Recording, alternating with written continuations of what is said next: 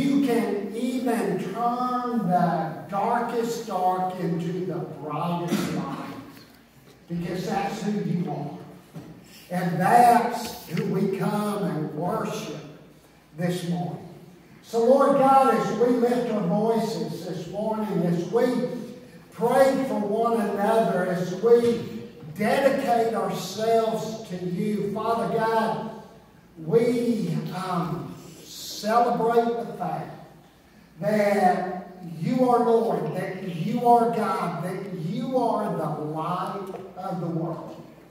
And so, Lord, this morning as we begin 2021, Lord, we give you ourselves. We lift our voice to the throne of grace for your glory in Christ's name. Amen. All right, just uh, did everybody get their communion elements this morning? I'm looking at the table. Uh, um, I think everybody did. If you didn't, um, just slip out at some point and grab some out there as, um, as you came in the doors this morning. Well, let's stand. Let's worship again.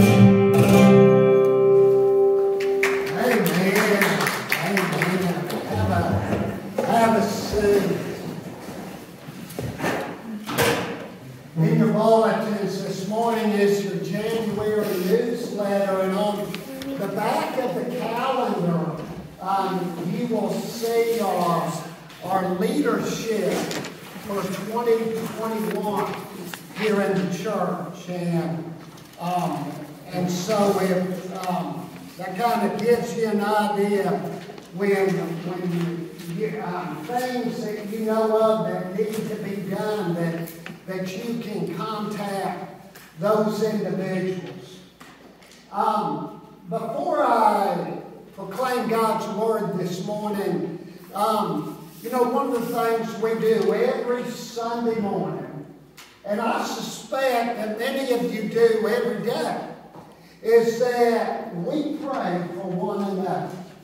Um, and that is, in fact, I believe that um, that in many ways that is the most important thing that we do when we gather together.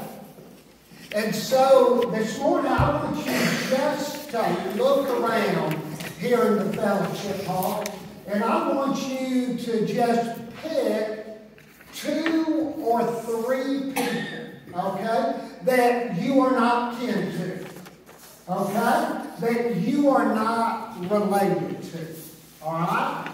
So just look around, pick anybody in here, and while we pray this morning, I'm going to have you pray silently for, the, for those individuals. Okay? Um, this morning, one of the um, passages in the Bible, when we pray for one another, I'm going to be honest, many times this is how I pray. Lord, protect them. Right? That's, that's good. That's good. Um, keep them healthy. Right? That, that's good. That's good. There's nothing wrong with that. That's a really, really good thing. Many times I'll pray, God bless them. You know what I mean? But if somebody asks me, well, what do I mean by that? Um, I, I'm, I'm not really sure what I would say. I want to draw your attention to a passage from Ephesians chapter 3 um, that has been on my heart a lot lately. In fact, for the last couple of months, that when I pray for people, um, this is how I've been praying. And when I pray for you, this is how I've been praying. And so I'm going to begin, and this is how I want you to pray this morning for those individuals that you picked out. Okay? Um, and I'm going to lead you in this prayer. Okay? Um, it's a dangerous prayer, but it's a powerful prayer. It's how the Apostle Paul prayed for the believers in a Greek city of Ephesus. Okay? He didn't just ask that God would bless them or that God would protect them. This is how we pray. And I'm going to begin with Ephesians chapter 3, um, beginning with verse 16. Okay? And this is how we pray. Will you bow with me? And I'm going to kind of lead you in this prayer as you pray for one another. Okay? And when I pause, this is how I want you to pray for those people by now. Okay? Here we go. Father God, I don't know how this is going to go, but I pray that you will take this, and I pray that the word of life that is found in the pages of your word, well, Lord, will take our prayer life to another level. And for every person in this room, that as we pray for them in the word, through the words of Scripture, Lord God, we pray that these words will become real in their life. All right, here we go. I pray that name that out of your glorious riches, that these people will be strengthened with power through the Holy Spirit in their inner being. So that Christ may dwell in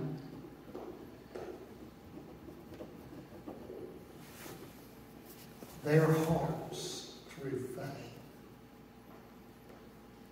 And I pray that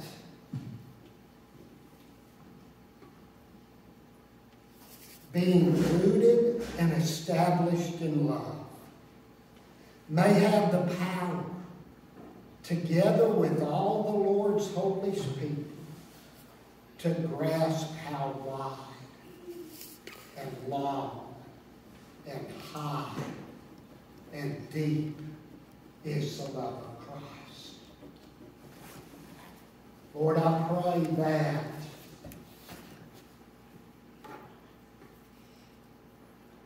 we'll be able to grasp how, how wide and long and high and deep is your love. And that will know this love that surpasses knowledge. And that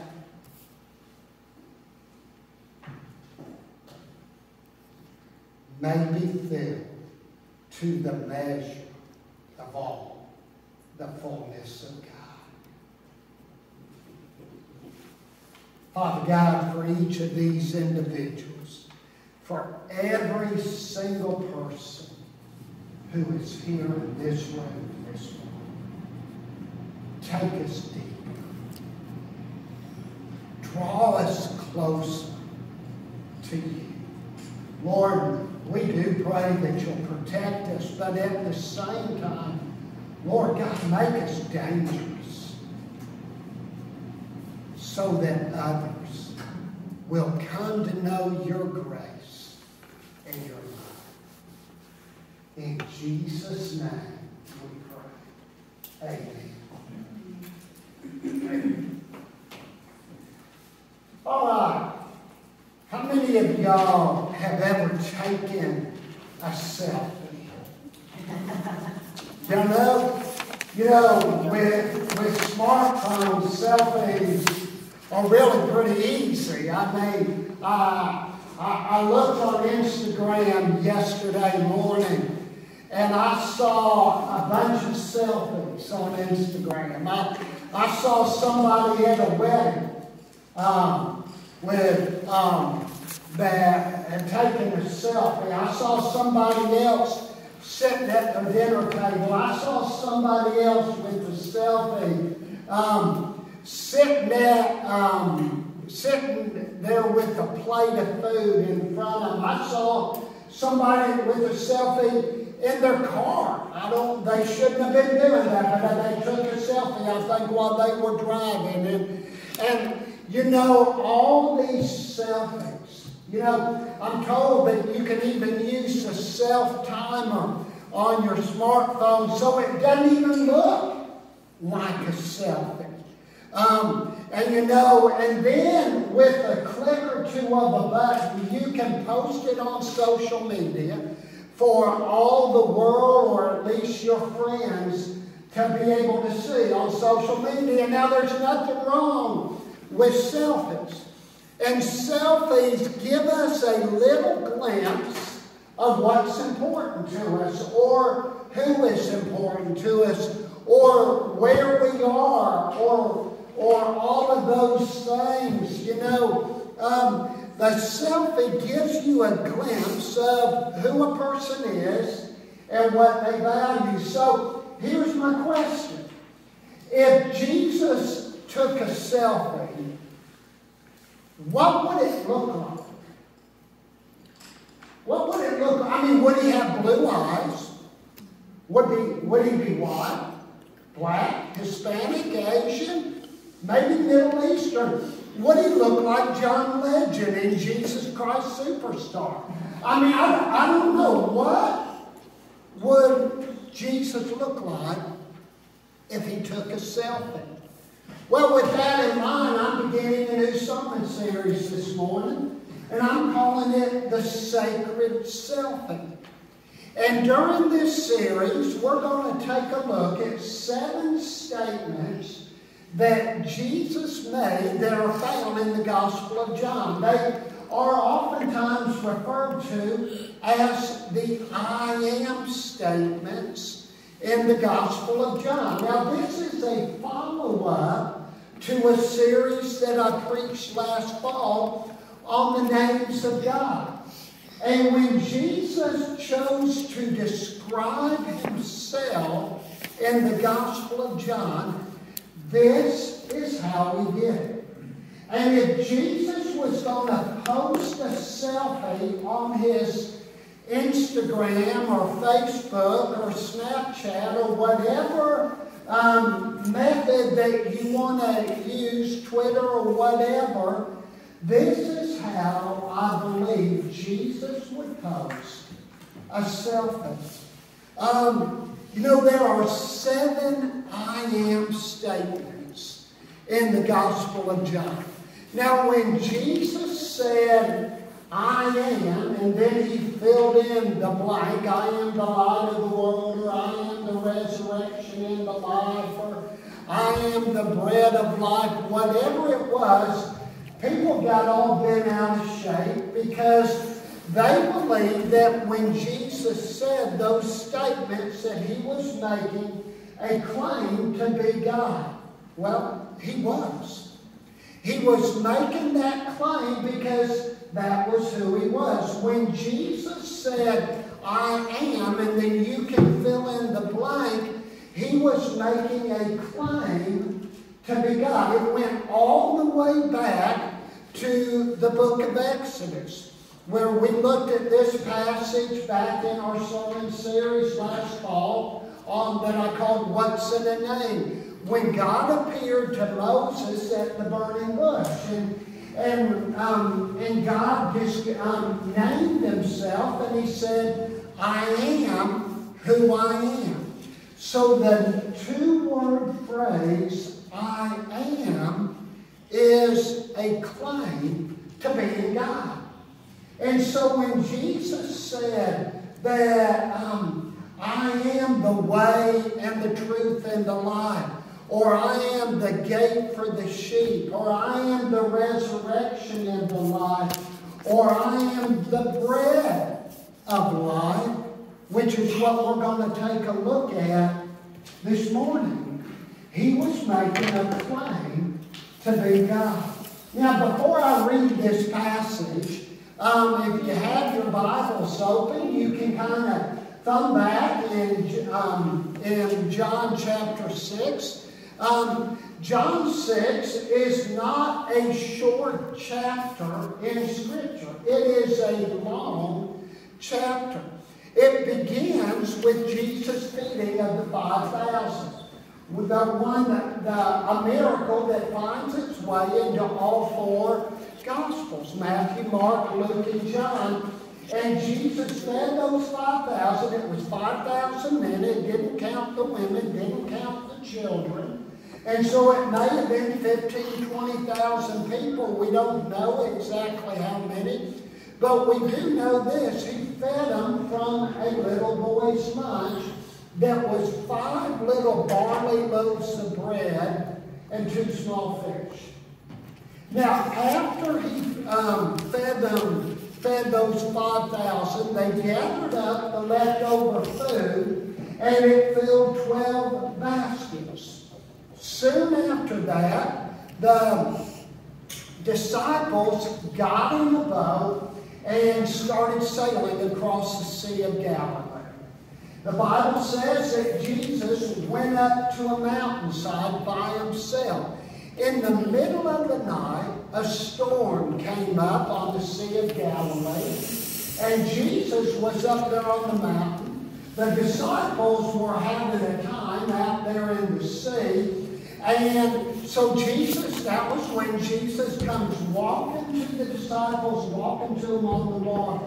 They got kind of scared, but Jesus said, don't worry about it. He climbed in the boat. Immediately the wind died down. And then, just like that, they arrived on the other side. At a place called Capernaum. The next morning, the people that Jesus had fed the day before, out of that little boy's lunch. They got up and they were probably thinking in their mind, you know what? Hey, he fed us once, he'll feed us again. And so they went looking for Jesus, but they couldn't find him. So they went to the other side of the lake, to the Sea of Galilee, to a place called Capernaum. And it was there on the shore of the Sea of Galilee that Jesus posted his first selfie in the Gospel of John. I am the bread of life. But let's read it in John chapter 6, beginning with verse 25. When they found him on the other side of the lake, they asked him, Rabbi, when did you get here? Jesus answered, Very truly, I tell you, you are looking for me not because you saw the signs I performed, but because you ate the loaves and had your fill. Do not work for food that spoils, but for food that endures to eternal life, which the Son of Man will give you. For on him the God the Father has placed his seal of approval.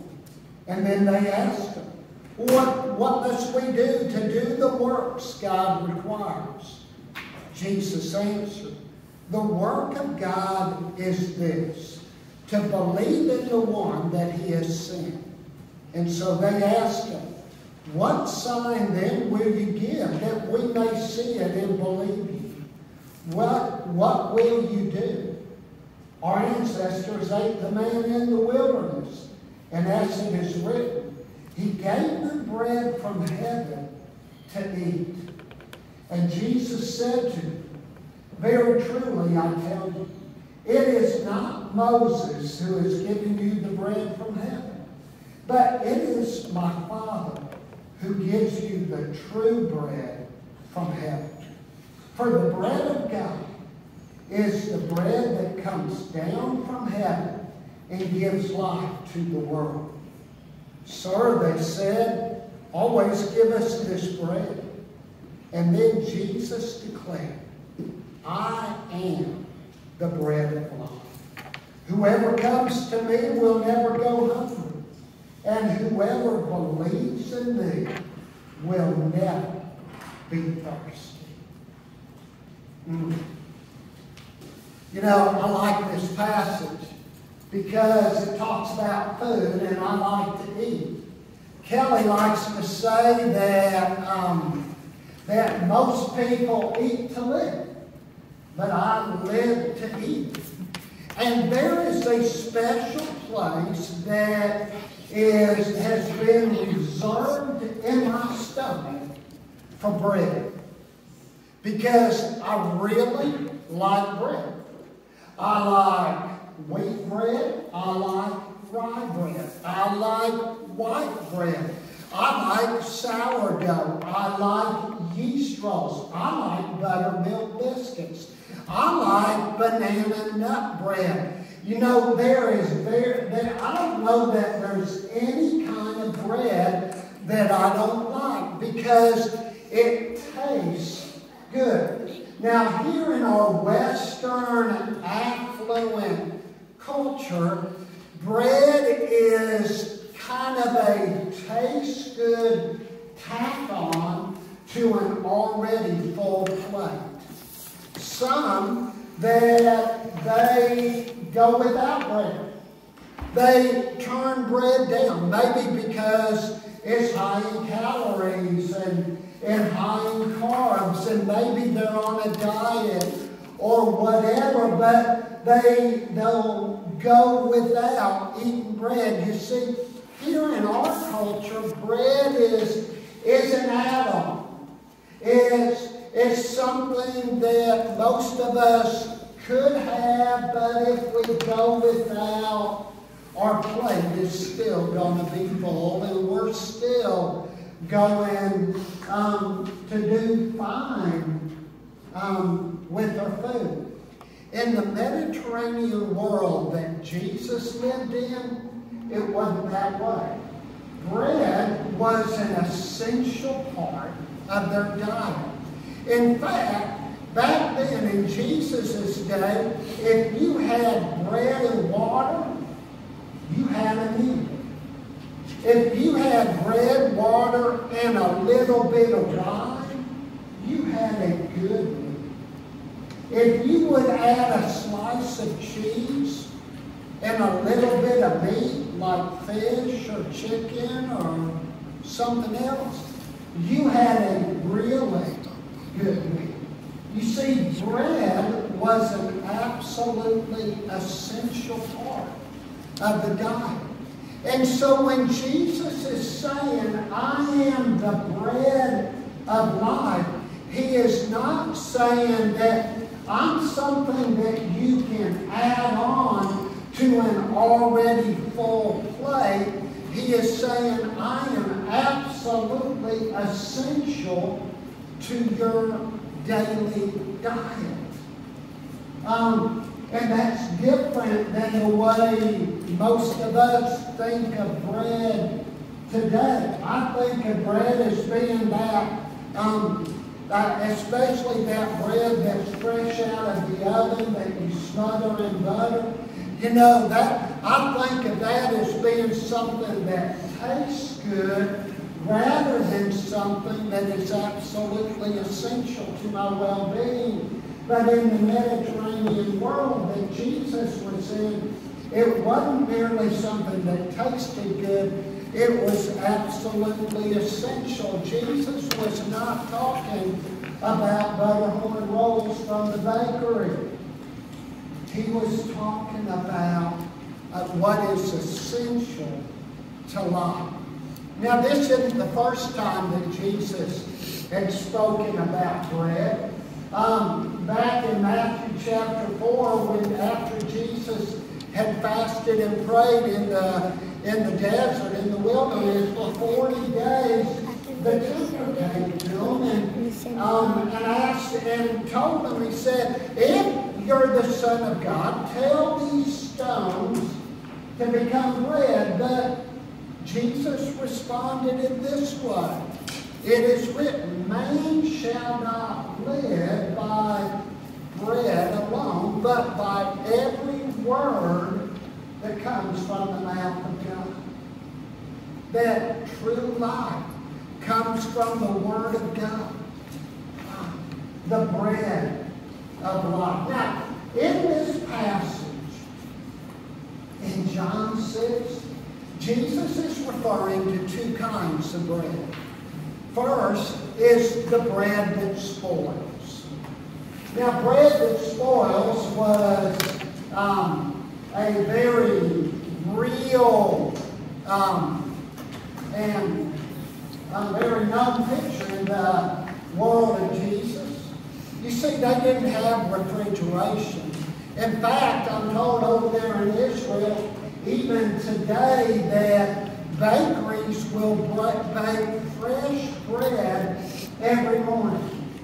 Um, and in Jesus' day, they didn't have preservatives to add to the bread to make it last. They didn't have modern refrigeration. So I want you to imagine something with me. You know, Jesus was all about object lessons. Um, have you ever noticed that in Scripture? And that in this passage, this is one of them.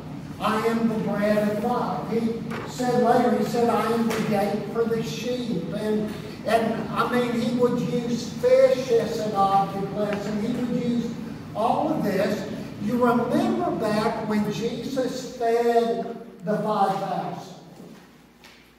After they had this phenomenal miracle, they gathered up 12 basketfuls of food, right? I wonder what did they do with those 12 baskets? You know, Scripture doesn't tell us. I mean, maybe they spread them out on the ground to feed the birds. I, I, I don't know. The Bible doesn't tell us. But what if just what if? I'm not saying this is what happened.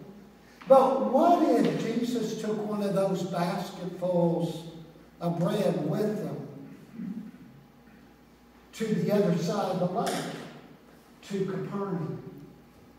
And what if Jesus showed them that bread as an example of the bread that spoils?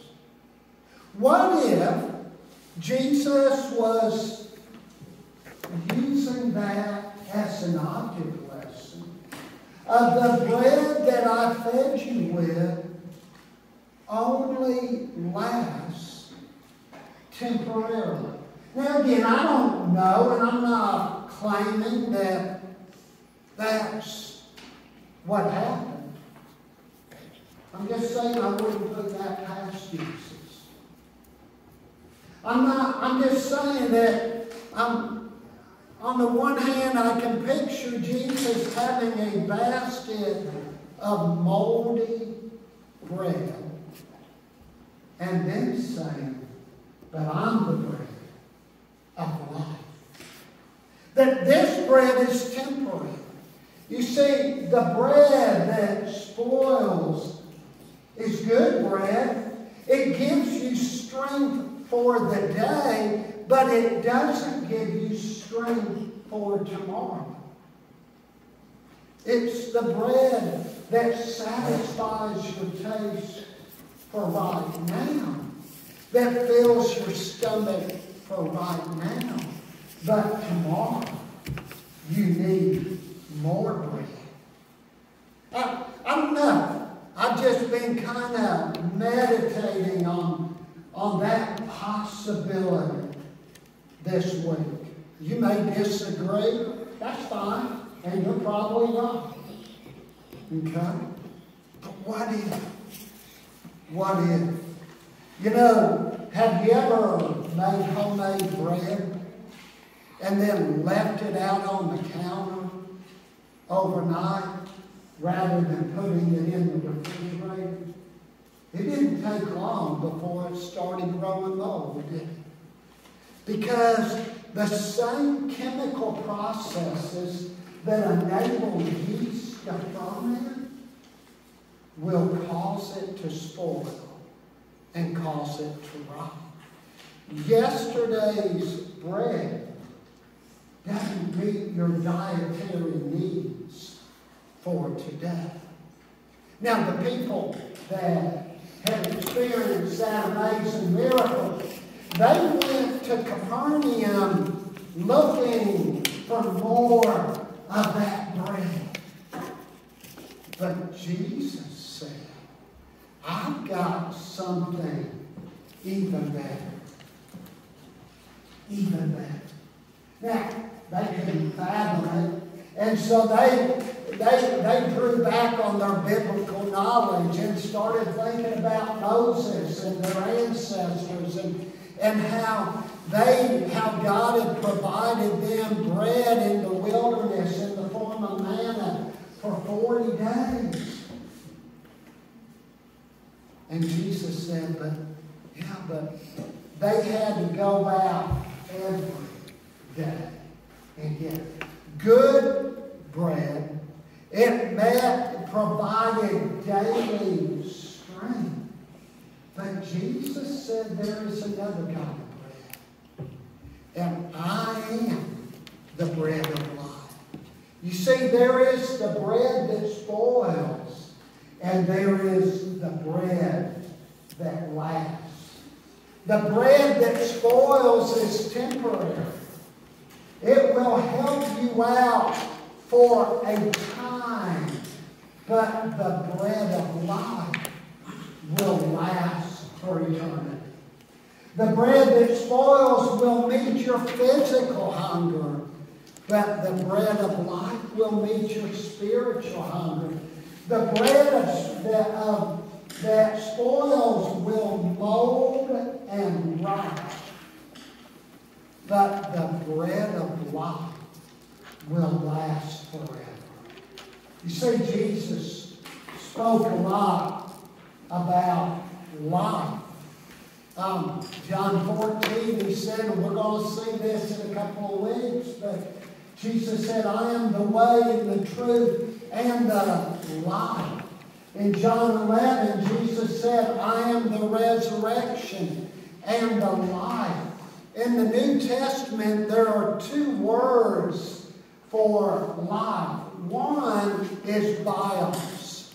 Bios um, describes life from conception, when life begins, from the point of conception to the point of your death, is bios. Okay? We get the English word biography from it, right? Describing a person's life from conception to death. Okay? But then there is another word that describes life. And that word is Zoe. And Zoe describes the quality of life. That Jesus came, came to give you the quality of life. Not merely just being able to live and breathe in your 60, 70, 80 years, whatever, here on this planet, but the quality of life. Life more than living and dying, more than just merely living and breathing, but life like no other. And Jesus said, I am the bread of that kind of life. That that kind of life is found in me. So I think it's very appropriate as we begin another year to begin with the bread of life. Um, not merely trying to go from one day to the next, but eternal sustenance. The bread of life that will satisfy not only your body, but your mind, your heart. And Jesus said, I am the bread of life. I want to invite you to go ahead and prepare your, your communion elements as we receive these together. Um, and as you prepare those, let me um, read to you from 1 Corinthians chapter 11. Okay? We read these words. For I received from the Lord what I also passed on to you. The Lord Jesus, on the night that he was betrayed, he took bread. And when he had given thanks, he broke it and he said, This is my body, which is for you. Do this in remembrance of me. And I wonder, when Jesus said those words, I wonder if the mind of his disciples went back to a place called Capernaum when Jesus first said that I am the bread of life. In the same way, after the supper, he took the cup, saying, This cup is the new covenant in my blood. Do this whenever you drink it in remembrance of me. For whenever you eat this bread and drink this cup, you proclaim the Lord's death until he comes. And then the next verse it says this Whoever eats the bread or drinks the cup of the Lord in an unworthy manner will be guilty of sinning against the body and the blood of the Lord. Everyone, which literally means everyone, ought to examine themselves before they eat of the bread and drink from the.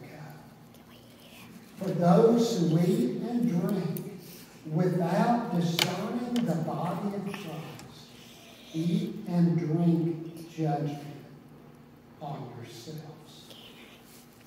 So I want to invite you to take a moment and just bow in prayer and examine yourselves. Confess your sin. Silently.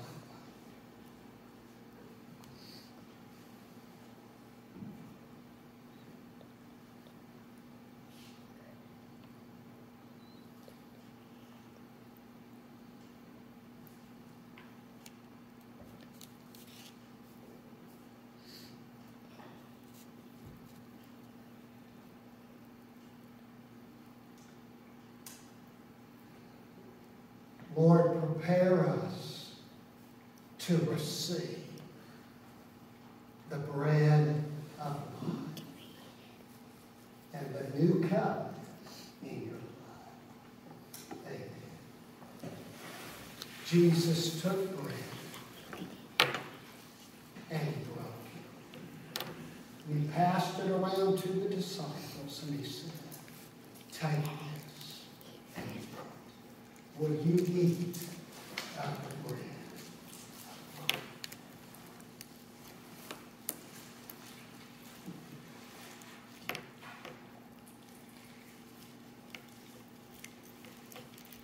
Then he took the cup and he blessed it. And he gave thanks over it. He said, This is the cup of the new covenant in my blood, poured out for you and for many for the forgiveness of sins. Will you drink of the cup?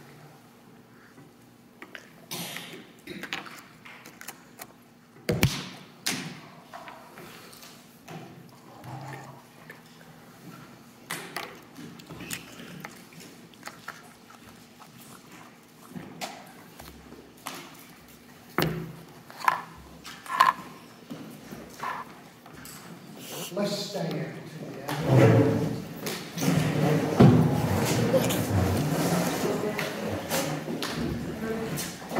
Father God, thank you for this sacrament of your love. Thank you for the bread of life. Thank that never lies, never molds. And thank you for giving that to us in the person of your Son.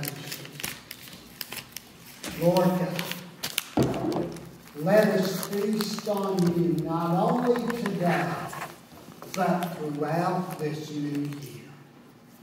Now, Lord, give us the strength that we need to be your body, uh, to be your love, um, so that others will come to know you in Christ's name. Amen. Go with us. Get me in your, in your mask. Yeah.